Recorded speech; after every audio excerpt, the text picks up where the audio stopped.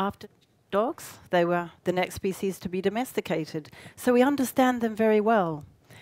We've used them for thousands of years. We know how to breed them, we know how to manage them. But when it comes to research, they're a forgotten species. We use mice for research, we use monkeys. Why don't we use sheep? So for most of my research career, I've actually used laboratory mice and I've studied motor function, cognitive function, sleep, circadian rhythms in mice. But about 10 years ago, I decided to switch tacks and change species.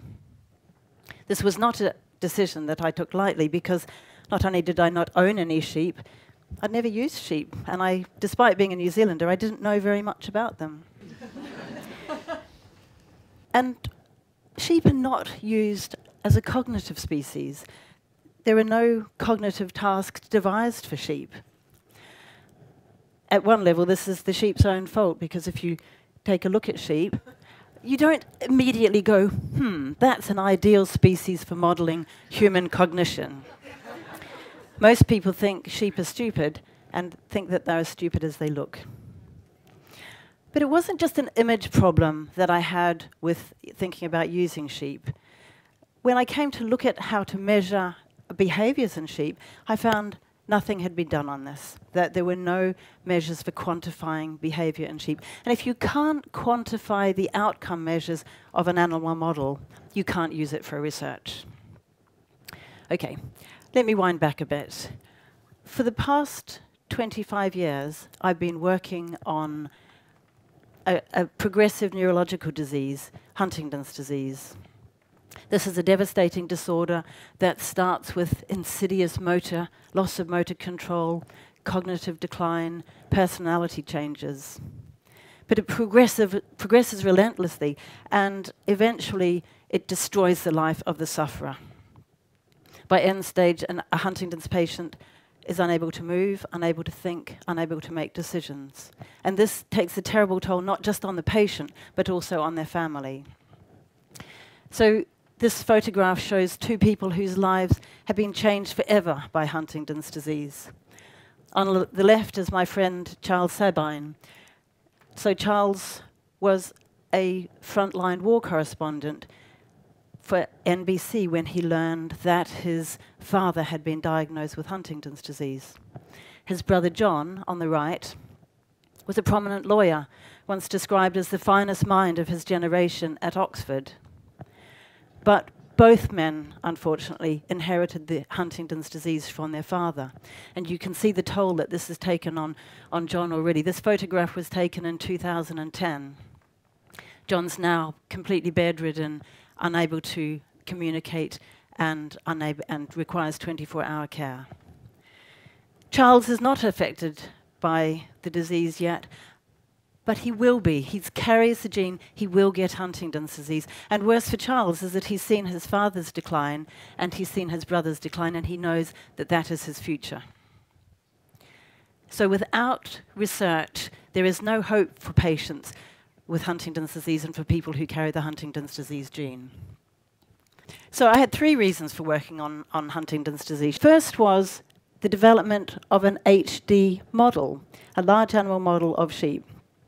Previously, the only models available to us had been mice.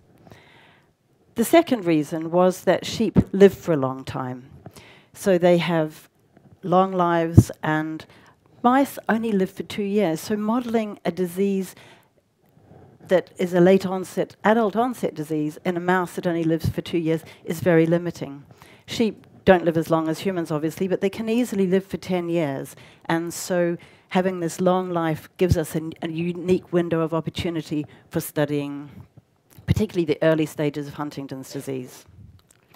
And the third reason was that sheep have large brains. This photograph shows an image of a mouse brain, a sheep brain, and a human brain. And if you can see the mouse brain at the bottom, it's obvious which of these is a better species to model the human, the sheep in the middle, obviously.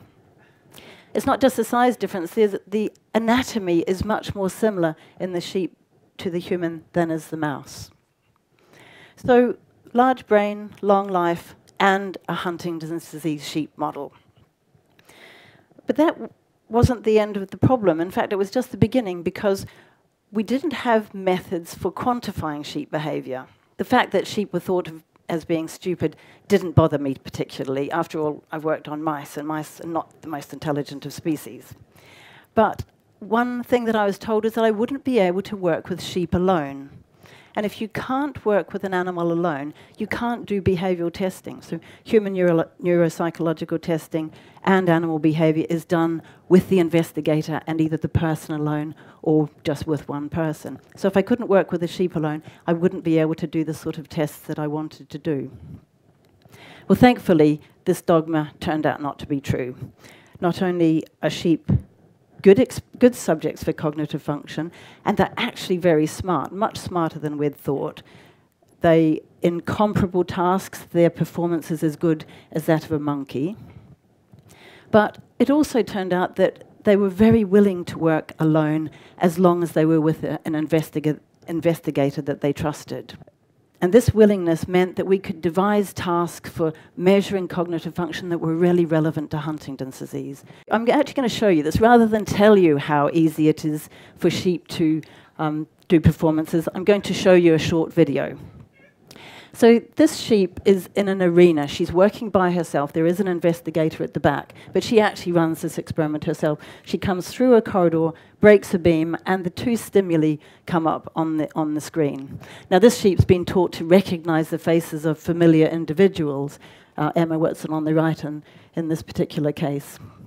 So what she does is she comes up, she looks at the faces, she makes a decision, and she indicates this decision by breaking an infrared beam that goes from the top of the screen to the bottom. She breaks it with her nose. If she gets it right, a food reward is delivered to the hopper.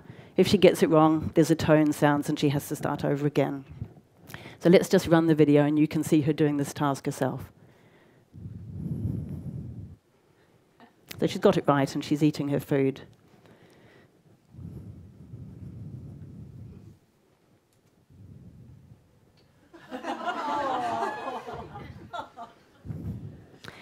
So the willingness to work like this, that you can do, so not just the face recognition task that you've seen, but other tasks of cognitive flexibility, means that we now have the tools to measure behavioral and cognitive changes in the Huntington's disease sheep.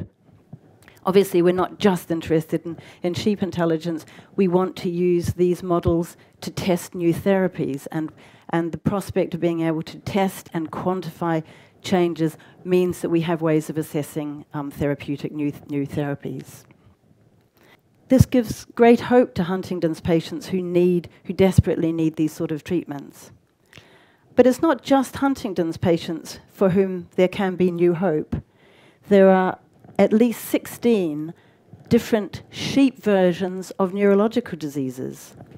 So this is, this is a list of just some of them.